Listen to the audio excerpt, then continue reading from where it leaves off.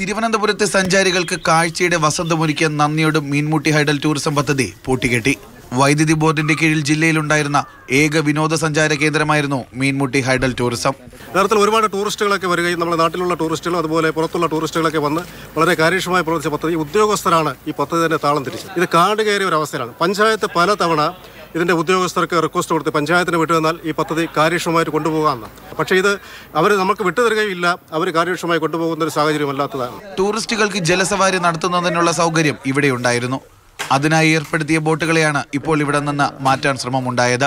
ഇവിടുത്തെ ബോട്ടും മറ്റ് സൗകര്യങ്ങളെല്ലാം കടത്തിക്കൊണ്ട് പോകുന്നതിനുള്ള ഇടപെടലാണ് ഇവിടെ നടന്നുകൊണ്ടിരിക്കുന്നത്. അതിനെ ശക്തമായി ഗ്രാമപഞ്ചായത്ത് മെമ്പർ എന്നുള്ള നിലയിൽ പ്രതിഷേധിക്കും.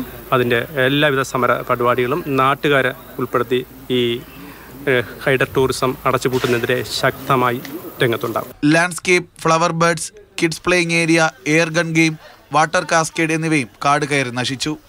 താൽക്കാലികമായി നിയമിച്ചിരുന്ന ബോട്ട് ഡ്രൈവർമാരെയും നേരത്തെ പിരിച്ചുവിട്ടിരുന്നു. Jibin J B Mathrubhumi news Thiruvananthapuram.